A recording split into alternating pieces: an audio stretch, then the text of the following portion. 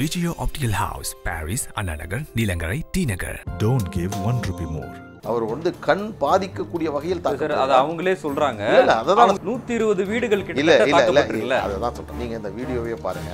ஒண்ணும் கிடையாது. நாலு ஓடு அஞ்சு ஓடு ஒன்று கிடையாது. சாதாரணமா நினைக்கிறீங்க நான் சொல்றத கொஞ்சம் கேட்டு நீங்க வந்து தாழ்த்தப்பட்ட மக்களுக்கு எதிரான கட்சி பாமக இல்ல அப்படின்னு சொல்றீங்க. பலமா சொல்றோம். ஆனா- பலமா சொல்றோம். தலித் அல்லாதோர் மற்ற கட்சிகள் சேர்ந்த இயக்கம் அதாவது- அதை முன்னெடுத்தது யாரு? அதாவது சொன்னால் இன்றைக்கு அடித்தட்டில் இல்ல அந்த இருக்க வார்த்தைகள்லயே அந்த சாதிய வன்மம் தெரியுது. சரி. நான் ரொம்ப சந்தோஷம். இவன் பாமக இவன் வன்னியர் என்று உங்களுக்கு தெரியும். ஆனால் நீங்கள்லாம் என்ன ஜாதி? சாதிய வன்மத்தோடு திருமாவளவன் பேசிய பேச்சை நீங்க பார்த்திருக்கீங்களா? உங்கள் கட்சியை சேர்ந்த ஜே குரு அவர்கள் பேசிய பேச்சு இல்லாம யூடியூப்ல இருக்கு. ஜே குரு அவர்கள் பூத்துல நம்ம தான் இருப்போம். நான் சொல்றது புரியுதா? அப்படின்னு சொல்றாரு. அதுக்கு என்ன அர்த்தம்? அது ஒன்றும் அர்த்தம் கிடையாது. டாக்டர் ராமதாஸ் அவர்களே சொல்றாரு சிங்க குட்டிகள்லாம் அங்க போய் உட்காரணும் ஆமா உண்மைதான். அது ஒரு விதமான தூண்டுதல் இல்லையா? கிடையாது. உங்களுடைய பார்வை கோளாறு என்னன்னா சின்ன பசங்கலாம் வராங்க அந்த வீடியோல. கட்டையோட வராங்க. இந்த இந்த நாட்டுல திருமாவளவன் சொன்ன வார்த்தை தான். நூறு அம்பேத்கர் இருந்தாலும் சாதியை ஒழிக்க முடியாது. அவர் தான் சொல்றாரு. சின்ன சின்ன பசங்களாம் அந்த மஞ்சள் கலர் பனியனை போட்டுக்கிட்டு வந்து எல்லா பூத்து எல்லா முன்னாடி நிக்கிறாங்க. எ- பாருங்க எல்லாத்துலயும் இருக்காங்க. முழுக்க நாங்கெல்லாம் வந்து கரெக்டா இருக்கோம். அவங்க சரியா இல்ல. அப்படி சொல்லல. தமிழகம் தழுவி போராட்டம் நடத்தக்கூடிய அளவிற்கான பிரச்சனை இது இல்லை. அதுதான் சொல்றேன். இல்ல எப்படி நீங்க அதை சொல்றீங்க? அதாவது அந்த வீடியோலயே பானைகள் வரைஞ்சிருக்கிற வீட்டை உடைக்கிறாங்க. திருமாவளவன் அவர்கள் போஸ்ட் ஒட்டின வீட்டை அடிக்கிறாங்க. அதெல்லாம் சாதாரண அதுதான் நான் சொல்றேன். நான் வந்து நான் ஒவ்வொன்றா பானை சின்னத்துக்கு ஓட்டு போட்டதுக்காக ஒருத்தர் விரல உடைக்கிறாங்க. நீங்க அது இப்ப இவ்வளவு கேள்வி கேக்குறீங்கல்ல. தாழ்த்தப்பட்ட மக்களுக்கு எதிரானவர்கள் பாமகவினர் கிடையாதுன்னு நீங்க சொல்றீங்க. எந்த சாதிக்கும் எதிரானவன் திருமாவளவன் கிடையாதுன்னு அவர் சொல்றாரு. என்னதான் பிரச்சனை? அதாவது ஒரே லைன்ல சொல்லணும்னா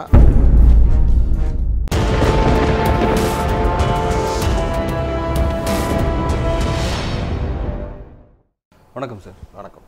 நாடாளுமன்ற தேர்தல் அதாவது இரண்டாயிரத்தி பத்தொன்பதாம் ஆண்டின் நாடாளுமன்ற தேர்தல் நடந்து முடிந்திருக்குது. இந்த தேர்தலை பொறுத்த வரைக்கும் அதிகமாக விமர்சிக்கப்பட்ட ஒரு கூட்டணி அப்படின்னா பாமக அதிமுக கூட்டணியை சொல்லலாம். அதை நீங்களே உணர்ந்திருப்பீங்கன்னு நினைக்கிறேன். ஏழு தொகுதிகள் ஏழு தொகுதிகளிலும் வெல்ல வாய்ப்பு இருக்குதா? எப்படி உணர்றீங்க? இந்த தேர்தலில் பாட்டாளி மக்கள் கட்சி அனைத்து இந்திய அண்ணா திராவிட முன்னேற்றக் கழகத்தினுடைய அணியில் கூட்டணி சேர்ந்து இந்த தேர்தலில் நாங்கள் களம் கண்டிருக்கிறோம். நீங்கள் சொல்வது அதில் ஒரு உண்மை இருக்கிறது. அதிகம் விமர்சனம் செய்யப்பட்ட இந்த கூட்டணி என்று. அதே போன்று அதிகமாக பேசப்பட்டதும் இந்த கூட்டணி தான். பெரும் தாக்கத்தை தமிழக அரசியலில் எங்கள் கூட்டணி ஏற்படுத்தியது என்பதை மறுக்கவே முடியாது. யாராலும் மறுக்க முடியாது. கடந்த டிசம்பர் மாதம் வாக்கில் ஆளும் கட்சியினுடைய அதிமுக பாஜக மீது மிக கடுமையான விமர்சனம். எந்த விதத்திலும் இந்த தேர்தலில் இவர்கள் போட்டியிட முடியாது. தமிழ்நாட்டில் திராவிட முன்னேற்றக் கழகம் நாற்பதிலும் வெற்றி பெறும். எதிர்த்து நிற்பதற்கு கூட ஆள் இல்லை. நாற்பதையும் வென்றுவிட்டோம் என்ற மனநிலையில் திமுக இருந்தது. தேர்தலே தேவையில்லை என்று சொல்லக்கூடிய அளவிற்கு இருந்த சூழல். ஆனால் முதன் முதலில் பாட்டாளி மக்கள் கட்சி அனைத்து இந்திய அண்ணா திராவிட முன்னேற்றக் கழகத்துடன் கூட்டணி அமைத்த போது மிகப்பெரிய அதிர்வலையை தமிழ்நாட்டில் ஏற்படுத்தியது. அதற்கு பிறகுதான் ஒரு மெகா கூட்டணி உருவாவதற்கு அடித்தளத்தை பாட்டாளி மக்கள் கட்சி அமைத்தது. மிகப்பெரிய அளவில் பேசப்பட்டது. அதுதான் இந்த தேர்தலுக்கான துவக்கமாக அமைந்தது. அந்த விமர்சனங்கள் ஊழல் பட்டியல் எல்லாத்தையும் கொடுத்துட்டு அந்த கட்சியோடவே கூட்டணி வச்சதுதான் விமர்சனமா இருந்துச்சு. அது- இது வந்து முதலில் அதுதான் பேசப்பட்டது. இல்லை இது பேசப்பட்டது என்பது இரண்டு. ஒன்று நீங்கள் சொல்லக்கூடிய இந்த விமர்சனம். இன்னொன்று இந்த கூட்டணி இப்படி கட்டமைக்கப்பட்டதினால் ஏற்பட்டக்கூடிய திமுகவில் ஏற்பட்டக்கூடிய பதட்டம் குழப்பம் அவர்களுக்குள் ஏற்பட்ட தடுமாற்றங்கள் இவையெல்லாம் எதனால் ஏற்பட்டது என்றால் பாட்டாளி மக்கள் கட்சி அமைத்த இந்த கூட்டணி அதற்கு பிறகு தேமுதிக வருகிறது பாஜக மற்றும் இங்கே இருக்கக்கூடிய ஒரு திரு வாசன் அவர்கள் என்று தமிழ்நாட்டில் இருக்கக்கூடிய பலமான அரசியல் இயக்கங்கள் வாக்கு வங்கியை கொண்டிருக்கக்கூடிய அரசியல் இயக்கங்கள் வெற்றியை தீர்மானிக்கக்கூடிய கட்சியாக இருக்கக்கூடிய அரசியல் இயக்கங்கள் எல்லாம் அதிமுகவின் பக்கம் வந்த பிறகு திராவிட முன்னேற்றக் கழகம் தடுமாறி போனது. நாம் நினைத்த கணக்குகள் பொய்த்து போய்விட்டது. ஏமாற்றம் அடைந்து விடுவோமோ என்ற பதட்டத்தின் காரணமாக வேறு வழி இல்லாமல் தன்னுடைய கூட்டணி கணக்குகளை அவர்கள் மாற்றக்கூடிய நிலைமைக்கு மாறினார்கள்.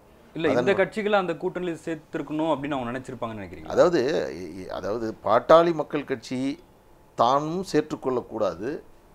அவர்கள் அதிமுகவிடம் சேர்ந்து விடக்கூடாது என்ற நினைப்பில் இருந்தவர்கள் அவர்கள். பாட்டாளி மக்கள் கட்சி அது நாங்கள் சேர வேண்டும் என்று நாங்கள் விரும்பவில்லை. ஆனால் அதற்கான நடவடிக்கைகள் நடந்ததுன்னு அது அது. அது அதை பற்றி நாம் ஒரு அடுத்த நிலையில் இருக்கக்கூடிய ஒரு ஒரு இயக்கத்தில் இருக்கக்கூடியவனாக நான் அதை சொல்ல முடியாது. ஆனால் இதை அவர்கள் நினைத்தார்கள். இது அதிமுகவோடு பாமக கூட்டணி வைக்காது என்று அவர்கள் நம்பினார்கள். ஆனால் நாங்கள் இந்த முடிவை எடுத்த பிறகு தடுமாற்றத்தினுடைய ஒரு தோற்றமாக நீங்கள் பார்க்க வேண்டும் என்று சொன்னால் திரு ஈஸ்வரனுடைய கட்சிக்கு நாமக்கல் தொகுதியை ஒதுக்கினார்கள். பாரிவேந்தர் திரு பச்சமுத்து புதிய தலைமுறையினுடைய தொலைக்காட்சி. அவருக்கு பெரம்பலூரை கொடுத்தார்கள். இவர்கள் எல்லாம் ஒரிஜினல் இந்த தேர்தல் பிளானில் திமுகவுடைய திட்டத்தில் இல்லாத கட்சிகள். துவக்கத்தில் பார்த்தீர்கள் என்று சொன்னால் எங்களுக்கு இடமில்லை யாரும் புதிதாக தேவையில்லை என்ற மனநிலையில் இருந்தார்கள். அதன் காரணமாக அதற்கு பிறகு காங்கிரசுக்கு பத்து இடங்களை கொடுத்தார்கள். அப்படி பார்த்தா எந்த கூட்டணியுமே திட்டத்தோட அமையலையே. அதுதான் அதுதான். பாமக அதிமுக கூட்டணியே ஒரு திட்டத்தோட நான் என்ன? சொல்ல வரேன்னா திட்டம் என்பது இந்த தேர்தலில் வெற்றி பெற வேண்டும் என்பதுதான் ஒரு ஒரு அரசியல் கட்சியினுடைய திட்டம்.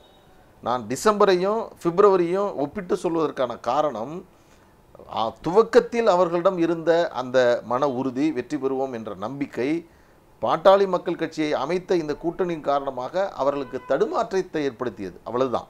தேர்தல் கூட்டணிகள்லாம் முடிவாகி தேர்தலும் முடிஞ்சிருச்சு. நேற்று நீங்கள் ஒரு பத்திரிகையாளர் சந்திப்பை நடத்துனீங்க. அதில் வந்து சமீபத்தில் நடந்த அந்த புன்பரப்பின்ற அந்த கிராமத்தில் நடந்த தாக்குதல்.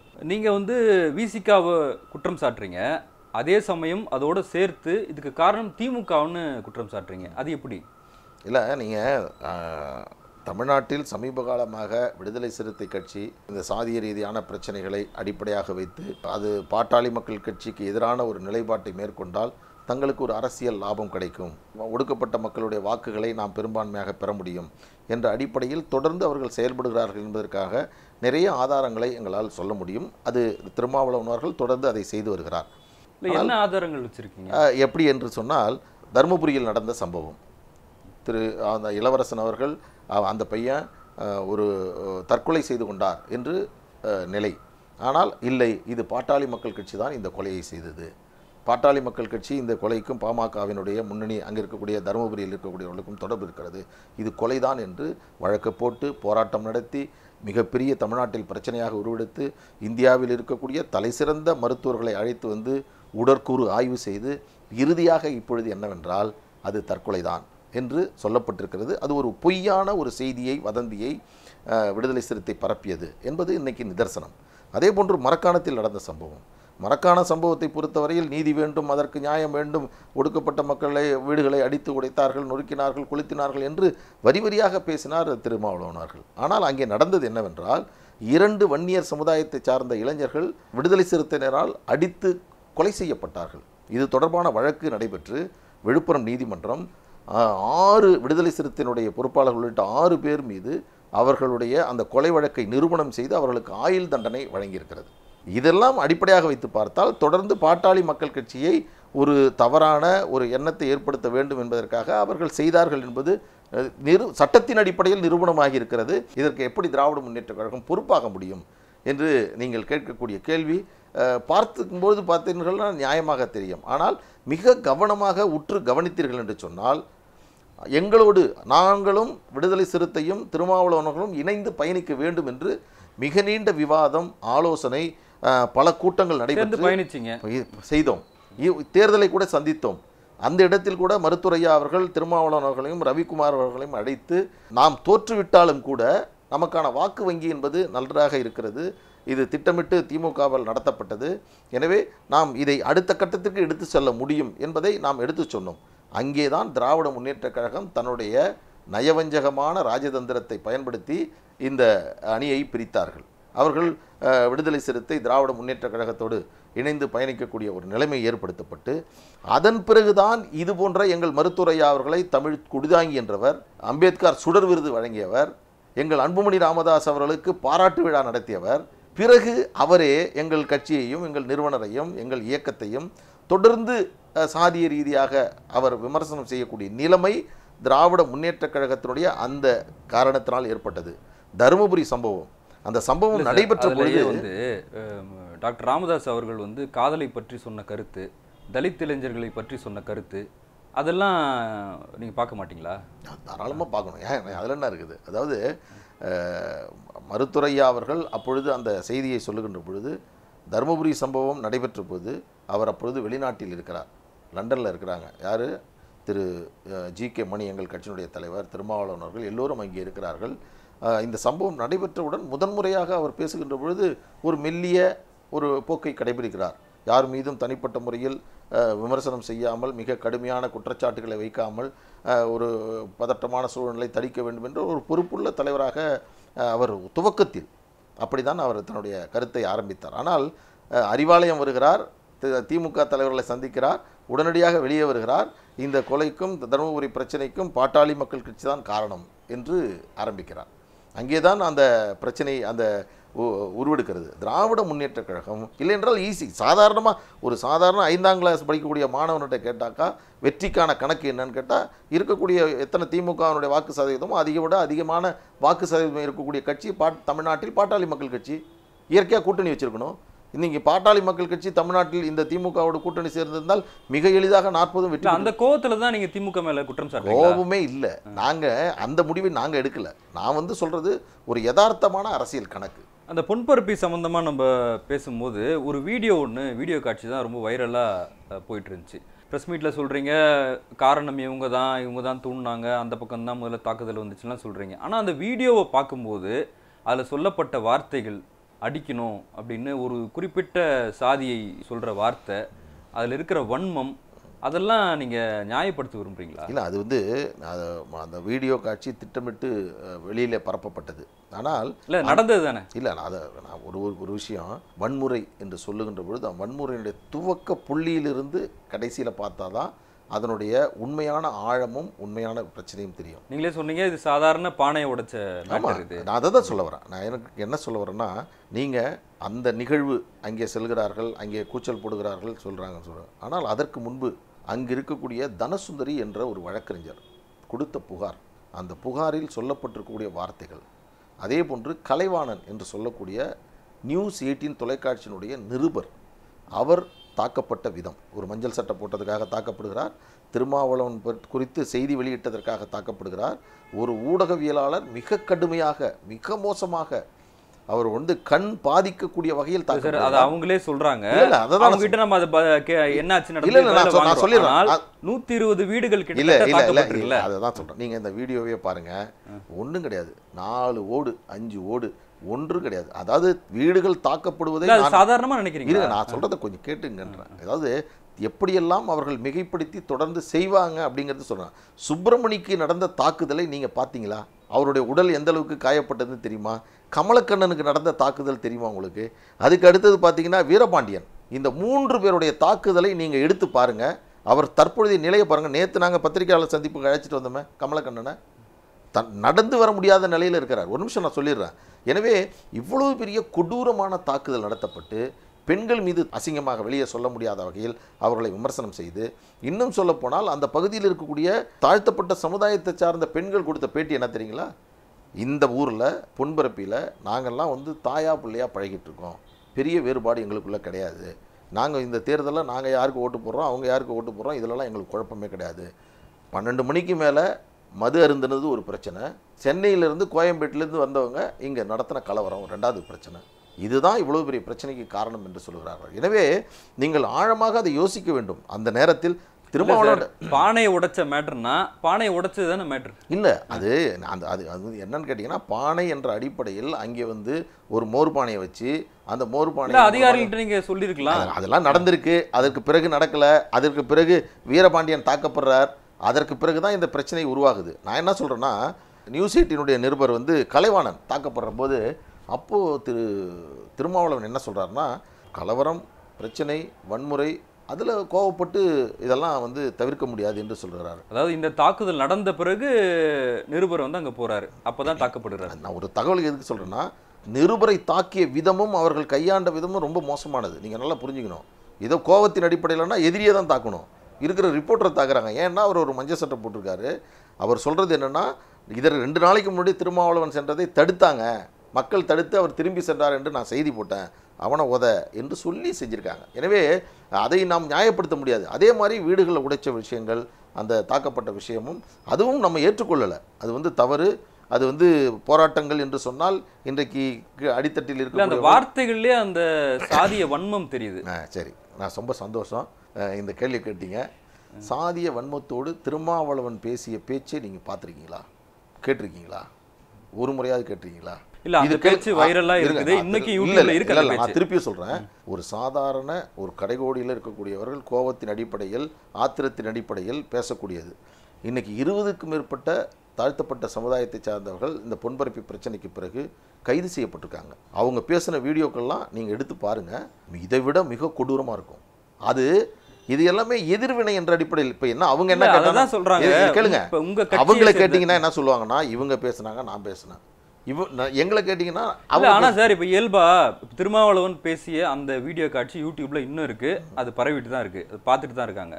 அதே சமயம் உங்கள் கட்சியை சேர்ந்த ஜே குரு அவர்கள் பேசிய பேச்சு எல்லாமும் யூடியூப்ல இருக்கு. அதையும் மக்கள் கேக்குறாங்க. அதெல்லாம் என்ன என்ன சொல்ல விரும்புறீங்க? அதாவது ஜே குரு அவர்கள் திமுக தலைவரையே சாதி ரீதியா விமர்சிக்கிறாரு. அப்ப ஒத்துக்கிறீங்க அதை? இல்ல வைகோ திரு கலைஞர் அவர்களை தன்னை தலைவராக ஏற்றுக்கொண்டு இப்ப கூட்டணியில் இருந்துக்கிட்டு அவரே இன்னைக்கு வந்து அவரு பேசுறதுக்கு விளக்கத்தை சொல்லுங்க. அதுதான் விளக்கங்கிறேன். அதாவது வைகோ அவர்களே அந்த விமர்சனம் சாதி ரீதியான விமர்சனத்தை அவர் வைக்கிறார். அவர் ஒரு திராவிட இயக்கத்தினுடைய தலைவர். வன்னியர் சங்கத்தினுடைய தலைவர் குரு அவர்கள். அப்போது ஒரு சமுதாயத்தினுடைய பிரச்சனையை அவர் பேசுகின்ற பொழுது ஒரு ஆளும் கட்சியாக இருக்கக்கூடிய ஆண்ட ஒரு திராவிட முன்னேற்ற கழகத்தை அவர் விமர்சனம் செய்வது என்பதை தவிர்க்க முடியாது. ஆனால் அதை விமர்சனமே செய்யக்கூடாதுன்னு சொல்ல முடியாது. இன்னைக்கு திருமாவளவன் அவர்கள் விமர்சனம் செய்கிறார் அது என்ன? ஒரு சாதி ச- தொடர்புடைய பிரச்சனை அதை பாதுகாக்க வேண்டும் என்று அவர்களுக்கு பாதுகாப்பாக அவர் பேசுகிறார் அதே மாதிரி தான் திரு குரு அவர்கள் அப்பொழுது வன்னியர் சங்கத்தினுடைய தலைவராக இருந்த திரு மாவீரன் குரு அவர்கள் அப்போ பேசுகிறார் எனவே அன்றைக்கு அவர் பேசிய பிரச்சனை என்பது ஒரு அரசியல் ரீதியான சமூக ரீதியான குடும்ப ரீதியான பிரச்சனை. ஆனால் இவர் பேசக்கூடியது தனிப்பட்ட முறையில் அது நான் திருப்பி சொல்ல விரும்பல. உங்க நீங்க இல்ல பார்த்து அதன் பிறகு அவர் வந்து நானு இல்ல, மாறல, என். கட்சிக்காரர்களே வந்து என்னை கண்டிச்சாங்க அப்படின்லாம் திருப்பி பேட்டியில பேசினாரு. அவரு அந்த பேச்சை என் கட்சிக்காரர்களே கண்டிச்சாங்க. அதை நான் பார்த்ததா எனக்கு தெரியல. அவர் சொல்லியிருக்காரு சொல்லியிருக்காரு. அப்படி சொல்லியிருந்தால் அது வந்து நல்ல விஷயம்தான். நான் என்ன சொல்கிறேன்னா இதுதான் ஒரு பொறுப்புள்ள அரசியல் தலைவர்கள் மிக கவனமாக எப்படி பேச வேண்டும். நாம் பேசக்கூடிய கருத்தின் காரணமாக எத்தகைய சமூக பதட்டங்கள் ஏற்படும் என்பதை உணர்ந்து புரிந்து பேசணும். இதுதான் அடிப்படை. இந்த தேர்தல் அது எல்லா கட்சிக்கும் பொருந்தும். எல்லாருக்குமே. நான் வந்து பாருங்க நான் பாட்டாளி மக்கள் கட்சி. என்னை பார்த்தீங்கன்னா உடனே இவன் பாமக இவன் வன்னியர் என்று உங்களுக்கு தெரியும். ஆனால் நீங்கள்லாம் என்ன ஜாதி? இவங்க இருக்கிறவங்களாம் யார்? நான் அப்படி பேச போகிறதில்ல அதே மாதிரி நான் பேசக்கூடிய செய்தி என்பதும் ஏதோ ஒரு சமுதாயத்திற்காக ஆதரவாக பேசுவதும் ஒரு சமுதாயத்தை கடுமையாக எதிர்ப்பதும் என்னுடைய நோக்கம் அல்ல. நான் நீங்க வந்து. தாழ்த்தப்பட்ட மக்களுக்கு எதிரான கட்சி பாமக இல்ல அப்படின்னு சொல்றீங்க. பலமா சொல்றோம்.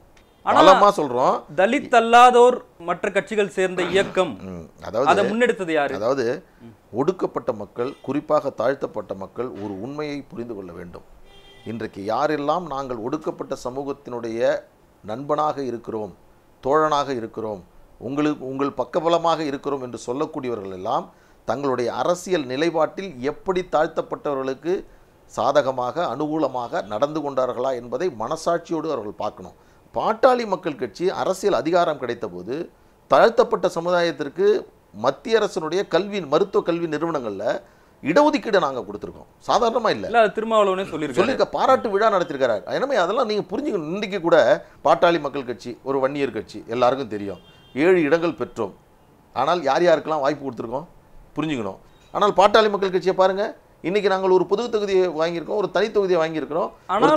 தலைவர் இல்லாத ஒரு கூட்டமைப்பு நீங்க உருவாக்குறதுக்கான காரணம் என்னன்னு தான் கேக்குறேன். அது அதுதான் நான் சொல்கிறேன் அதை நீங்கள் தயவு செய்து புரிந்து கொண்டீர்கள் என்று சொன்னால் தெரியும். பாட்டாளி மக்கள் கட்சியினுடைய அதனுடைய செயல்பாட்டை அவர்கள் திட்டமிட்டு ஒரு சாதிய வலயத்திற்குள் எங்களை வைத்தார்கள். பாட்டாளி மக்கள் கட்சி மத்தியில் உணவுத்துறை அமைச்சர் ரயில்வே துறை அமைச்சர் சுகாதாரத்துறை அமைச்சர் எத்தனை அமைச்சர்களை நாங்கள் பெற்றிருந்தாலும் கூட சாதிய ரீதியாக நாங்கள் நடந்து கொண்டோமோ? எங்களுடைய அந்த அதிகாரங்கள் கிடைக்கின்ற பொழுது எத்தனை விதமான விமர்சனங்கள் பாமக மீது வந்தாலும் கூட அதையெல்லாம் தாண்டி நாங்கள் எழுவோம். ஒன்றை சொல்லுகிறேன் பாட்டாளி மக்கள் கட்சி என்பது ரப்பர் மரம் போன்றது. எப்படி ரப்பர் மரங்களுக்கு ரணங்கள் புதிதல்ல என்று சொல்லுவார்களோ அதே போன்று பாட்டாளி மக்கள் கட்சிக்கு விமர்சனங்கள் புதிதல்ல. அதையெல்லாம் முறியடிப்போம் நிச்சயமாக வெற்றி பெறுவோம்.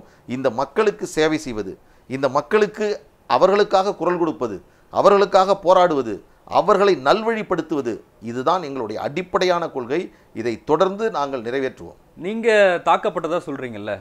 நீங்க என்னைக்கு போய் புகார் சொல்றீங்க போலீஸ் கிட்ட அன்றைக்கே மொத்தம் மூன்று புகார்கள் கொடுக்கப்பட்டிருக்காங்க. இல்ல பத்தொன்பதாம் தேதி தான் எஃப்ஐஆர் போடுறாங்க போலீஸ். அதாவது அந்த தரப்புல. கிரைம் நம்பர் எழுபத்தி அஞ்சு. அதுதான் வந்து அவங்க கொடுத்த புகார். வீடுகளை தாக்கப்பட்டது. கிரைம் நம்பர் எழுபத்தி ஆறு. சுப்பிரமணியனுடைய மனைவி கொடுத்த புகார். நம்பர் எழுபத்தி ஏழு. அதுக்கு அடுத்த புகார் என்ன கேட்டிங்கன்னா அவர் இவர் நம்ம நியூஸ் எயிட்டின் தொலைக்காட்சியினுடைய நிருபர் கொடுத்த புகார். எனவே அன்றைக்கே எல்லா புகார்களும் கொடுக்கப்படுகிறது. இன்னும் சொல்ல பதினெட்டாம் தேதி எஃப்ஐஆர் வந்து இந்த தரப்புல பதிவு பண்றாங்க. எல்லாமே அன்னைக்கே பண்ணுறாங்க பத்தொன்பதாம் தேதி தான் இந்த தரப்புல இல்லை அதாவது பார்த்தீங்கன்னா கிரைம் நம்பர் தான் நான் சொல்கிறேன் அடுத்த அடுத்தடுத்த இல்ல ஆன்லைன்ல எஃப்ஐஆர் காப்பிலாம் இருக்கு. நான் எடுத்து வச்சு எல்லாமே என்கிட்ட இருக்கேன் நீங்கள் இருக்கக்கூடிய மூணு எஃப்ஐஆர் நான் வச்சுருக்கேன். பக்கத்தில் இருக்கக்கூடிய காவல் நிலையத்தில் பதிவு செய்யப்பட்டதும் வச்சுருக்கேன். எனவே நான் வந்து ஏதோ ஒரு இட்டுக்கட்டி பேசுவது இதை வந்து சமாளித்து பேசுவது அது எனக்கு தேவையில்லை. அங்கு இருக்கக்கூடிய தற்போது இருக்கக்கூடிய பதட்டமான சூழ்நிலையை தணிக்க வேண்டும். அதுதான் சொல்றாங்க. சிதம்பரம் தொகுதியை பொறுத்த வரைக்கும் பெரும்பான்மையா அந்த சமூகம் தான் இருக்கு. தாழ்த்தப்பட்டவர்களோட அந்த சதவீதமே ரொம்ப கம்மி தான். அப்படி பெரும்பான்மையா இருக்கிறவங்கள இவங்க எப்படி தாக்க முடியும்? இல்லை இல்லை. அதாவது நீங்கள் ஒரு ஒரு ஒரு நிகழ்வையும் நீங்கள் பார்க்கணும். அங்கே இருக்கக்கூடிய நிகழ்வு அங்கே நடந்த சம்பவங்கள் இதை நீங்கள் அடிப்படையாக வைத்து பார்த்தீர்கள் என்றால் இன்னும் சொல்லப்போனால் இங்கே இருக்கக்கூடிய புன்பரப்பியை தவிர என்னுடைய தொகுதியும் ஜெயங்கொண்டம் தொகுதி சிதம்பரம் தொகுதி தான் வருது. நிறைய தொகுதிகள் இருக்குது. தாழ் தாழ்த்தப்பட்டவர்கள் மட்டுமே வாழக்கூடிய பூத் இருக்குது வன்னியர்கள் மட்டுமே வாழக்கூடிய பூத் இருக்குது பிற சாதியினர் ஒரே ஒரு தனிப்பட்ட சாதி மட்டும் இருக்கக்கூடிய பூத்துகள் எல்லாம் இருக்குது. எனவே இப்படி ஒரு சம்பவம் இப்படி ஒரு வன்முறை எல்லா இடங்களிலும் நடந்து பல இடங்களில் நடந்து இது போன்று நடந்திருந்தால் நீங்கள் இதை பற்றி சிந்திக்கலாம். இது அந்த நேரத்தில் ஒரு மது போதையில் அங்கு இருக்கக்கூடிய அந்த சூழலில் நடைபெற்ற ஒன்று. இதனுடைய அடிப்படையை நாம் புரிந்து கொண்டோம் என்று சொன்னால் தமிழகம் தழுவி போராட்டம் நடத்தக்கூடிய அளவிற்கான பிரச்சனை இது இல்லை. அதுதான் சொல்றேன். இல்ல எப்படி நீங்க அதை சொல்றீங்க? அதாவது அந்த வீடியோலயே பானைகள் வட வரைஞ்சிருக்கிற வீட்டை உடைக்கிறாங்க. திருமாவளவன் அவர்கள் போஸ்ட் ஒட்டின வீட்டை அடிக்கிறாங்க. அதெல்லாம் சாதாரண அதுதான் நான் சொல்றேன். நான் வந்து நான் இப்போ வந்து ஒவ்வொன்றாக பானை சின்னத்துக்கு ஓட்டு போட்டதுக்காக ஒருத்தர் விரல உடைக்கிறாங்க. நீங்க அது இப்போ இவ்வளவு கேள்வி கேட்குறீங்கல்ல இவ்வளவு கேள்வி கேட்குறீங்க ஒரு ஒரு பேட்டி எடுத்ததுக்காக ஒரு பத்திரிக்கையாளர் அடிக்கிறாங்களே என்ன அரசியல் இது? நீங்க அதை சொல்லுங்களேன். நீங்க ஓட்டு போட்டதுக்காக பண்றது தப்பு. இப்போ இது தப்பா இல்லையா? தப்பு தான் அப்புறம் அதே மாதிரி சுப்பிரமணியம் அடிக்கிறது தப்பா இல்லையா? அப்புறம் இந்த மாதிரி கையை உடைக்கிறது தப்பா இல்லையா? தப்பு தான் அப்போ நான் என்ன சொல்றேன்னா இதுதான். அவங்க செஞ்சு தப்பா சரியான்னு கேக்குறேன். நான் அதுதான் அதாவது அந்த இடத்தில் நடைபெற்ற அத்தனை நிகழ்வையும் நாம் நியாயப்படுத்தி விட முடியாது. நான் சொல்றேன். ஆனால் அதே சமயத்தில் இதனுடைய துவக்கமாக ஒரு பொறுப்புள்ள ஒரு தலைவராக இருக்கிறோம் ஒரு சமூகத்தின் மீது அக்கறை கொண்ட தலைவராக இருக்கணும். ஒரு சம்பவமே நடந்தால் கூட சட்டப்படி அதனுடைய நடவடிக்கைகளை நாம் மேற்கொள்ளணும். ஆனால் அதே சமயத்தில் அதை வைத்து அரசியல் செய்ய வேண்டும் என்று நினைக்கக்கூடாது. இல்லை டாக்டர் அன்புமணி ராமதாஸ் ஒரு கருத்தை சொல்றாரு. தேர்தலுக்கு முன்பாக முன்பா வந்து பூத்துல நம்ம தான் இருப்போம். நான் சொல்றது புரியுதா? அப்படின்னு சொல்றாரு. அதுக்கு என்ன அர்த்தம்? அது ஒன்றும் அர்த்தம் கிடையாது. அந்த அர்த்தமாக நீங்கள் பார்த்ததனால் ஏற்பட்ட குழப்பம். எப்படின்னா டாக்டர் ராமதாஸ் அவர்களே சொல்றாரு சிங்க குட்டிகள்லாம் அங்க போய் உட்காரணும் ஆமா உண்மைதான். இங்க அதிகம் இளைஞர்கள் நிறைந்திருக்கக்கூடிய அணி எங்கள் அணி. அதனால அது சொல்றோம் ஒரு விதமான தூண்டுதல் இல்லையா? கிடையாது. உங்களுடைய பார்வை கோளாறு என்னன்னா அதாவது நீங்க பல தேர்தலை சந்திச்சிருந்தீங்கன்னா உங்களுக்கு தெரியும். எப்படின்னா பூத்துல ஒரு நல்ல அணி நல்ல கூட்டணி இல்லாத சமயத்துல பன்னெண்டு மணிக்கு மேல ஆளே இருக்க மாட்டாங்க சார். அதனால தான் சொல்றாரு நம்ம பெரிய அணி நிறைய கட்சிகள் இருக்குது நிறைய பேர் நம்ம தான் இருக்க போறோம் நம்ம தான் ஜெயிக்க போறோம். சொல்றது புரியுதான்னு கேக்குறது? அது அதே தான் சொல்றது அதான் விளக்குறாரு அவர் விளக்குறாரு வேற ஒன்றும் இல்லை இளைஞர்களுக்கு சொல்றாரு என்ன புரிஞ்சிச்சா உங்களுக்குன்ற ஆமாங்கன்றாங்க. ஒருவேளை நீங்கள் இதை நீங்கள் ஒரு- ஒரு சாதாரணமாகவே எடுத்துங்க. நீங்கள் சொன்னதை வந்து நான் நினச்சி ரொம்ப என்ன இப்படிலாம் கேள்வி கேட்டாருன்னு கூட நினைக்கலாம் ஆனால் நான் கேட்குறேன் உள்ளபடியே ஒரு கள்ள ஓட்டோ அல்லது ஒரு பூத் கேப்சருங்கோ அல்லது இந்த மாதிரி வந்து தே முறைகேடோ செய்யணும்னு நாங்கள் அடிப்படையாக நினச்சிருக்கோன்னு வச்சுங்க இந்த முறையை நாங்கள் கைப்பற்றுவோமாங்கிறத கொஞ்சம் யோசிங்க. இல்ல தர்மபுரியில பத்து வாக்குச்சாவடியில மறுவாக்கு. அதுதான் அதுதான். இதுதான் அவருடைய வல்லமை. என்னன்னா ஒரு ஒன்று அந்த அந்த வந்து ஒரு சின்ன விஷயத்தை பெருசாக்குவாங்கன்னு சொல்லுவாங்கல்ல. அதுதான் இது சின்ன விஷயம் அப்படி ஆமாங்க. இன்னைக்கு கூட நான் சொல்றேன் என்னால் நிரூபிக்க முடியும் ஒரு வழக்கறிஞராக. அங்க பாப்பிரெட்டிப்பட்டி தொகுதியில் நடந்திருக்கக்கூடிய மறு வாக்குப்பதிவு என்பது தேவையற்றது அவசியமற்றது அங்கு இருக்கக்கூடிய கள நிலவரத்திற்கு எதிரானது. ஏன்னா மலர்விழி அந்த மாவட்ட ஆட்சியர் அவர்கள் அந்த தேர்தல் நடந்து முடிந்து பதினெட்டாம் தேதி மாலை பத்திரிகையாளர்கள் சந்தித்து அவர் கொடுத்த பேட்டிகள் ஒவ்வொன்றாக நீங்கள் பாருங்கள் அந்த இடத்துல சிசி கேமரா அகற்றப்படவில்லை. அங்கு இருக்கக்கூடிய தனிநபர்கள் யாரும் தடுக்கப்படவில்லை. அங்கு என்னை வாக்களிக்க அனுமதிக்கவில்லை என்று யாரும் புகார் தரவில்லை. அங்கு இருக்கக்கூடிய வாக்குச்சாவடியில் இருந்த முகவர்கள் யாரும் அங்கே எழுந்து செல்லவில்லை. Form seventeen A form seventeen C அனைத்தும் முறையாக பதிவு செய்யப்பட்டு ஆவணங்கள் எல்லாம் வந்திருக்கிறது. அங்கே எந்த விதமான ஆணையம் அந்த முடிவு தான் அதை தான் சொல்கிறேன் என்று அவங்க சொல்கிறாங்க அதற்கு பிறகு திமுகவினுடைய வேட்பாளர் அங்கே போகிறாரு அவர் மனு கொடுக்குறாரு. அப்புறம் அன்புமணி பேசியது மருத்துவரையா பேசியது அதனால் ஏற்பட்டது என்று எல்லாவற்றையும் சேர்த்து சொல்லுகிற போது தேர்தல் ஆணையம் என்ன நினைக்குது? இவ்வளோ பெரிய விமர்சனம் வருது. அந்த எட்டு எட்டு பூத்தை நடத்தி தான் போயிடுமே என்று அவர்கள் நினைக்கிறார்கள். திருமாவளவன் இன்னொரு குற்றச்சாட்டையும் வைக்கிறாரு. பாமகவும் இந்து முன்னணியும் கைகோத்து இந்த வேலையை செஞ்சிருக்காங்க. இது ஃபர்ஸ்ட் டைமாக சொல்றாரு. ஏன்னா இதுவரையில் சாதிய அமைப்பா எங்களை சொல்லுவார் மதவாதமா பாஜக சொல்லுவார். இப்போ சாதியவாதம் சாதியவாதமும் கைகோத்து கொண்டன. என்று சொல்றாரு அவங்களாம் அந்த வேர்டெலாம் காயின் பண்ணுவாங்க. இது பார்த்தீங்கன்னா பொன்பரப்பி ஜனநாயக படுகொலை. இன்னும் ஒரு இருபது வருஷத்துக்கு பருத்துங்க இந்த பொன்பரப்பி ஜனநாயக படுகொலை பேசப்பட்டு கொண்டே இருக்கும். ஆனால் அங்கே என்ன நடந்துச்சுன்னு பார்த்தா ஒன்றும் இருக்காது. ஒரு விஷயமும் இருக்கு நீங்க இயல்பா சாதாரணமா தான் எடுத்துக்கிறீங்க அதை. அதாவதுங்க இன்றைக்கு தமிழ்நாட்டில் நடந்த இந்த தேர்தல் தொடர்பாக நடந்த பல அந்த தேர்தல் தொடர்பான வழக்குகளில் அதுவும் ஒரு வழக்கு. அவ்வளவுதான். கொஞ்சம் அதனுடைய அளவு அதிகமாக இருக்கலாம். ஆனால் மாநிலம் தழுவிய இதற்கு ஒரு பெரிய ஒரு பின்னணியை ஏற்படுத்தி இதற்கு இவர்கள் திட்டமிட்டார்கள் இதற்கு சதி செய்தார்கள் இவர்கள் இப்படி தா அப்படிப்பட்ட பிரச்சனை அது அல்ல. இது அப்புறம் புரியும். நீங்க பத்திரிகையில சந்திப்பு வைக்கணும்? காரணம் இவங்க தான் இப்ப என்னன்னு கேட்டிங்கன்னா நீங்க தொடர்ந்து பார்த்தீங்கன்னா அந்த வீடியோவை ரிலீஸ் பண்ணிட்டாங்க. தொடர்ந்து இன்னைக்கு வந்து பொன்பரப்பி ஜனநாயக படுகொலை போராட்டத்தை நடத்துறாங்க பேட்டி கொடுக்குறாங்க. தொடர்ந்து நடந்துக்கிட்டே இருக்கு. இப்போ பொதுவாக உங்களை மாதிரி இருக்கவங்களே கேட்டாங்க என்னங்க ஒரு பக்கமாவே சொல்றாங்க உங்க கருத்தையே நீங்க சொல்லல.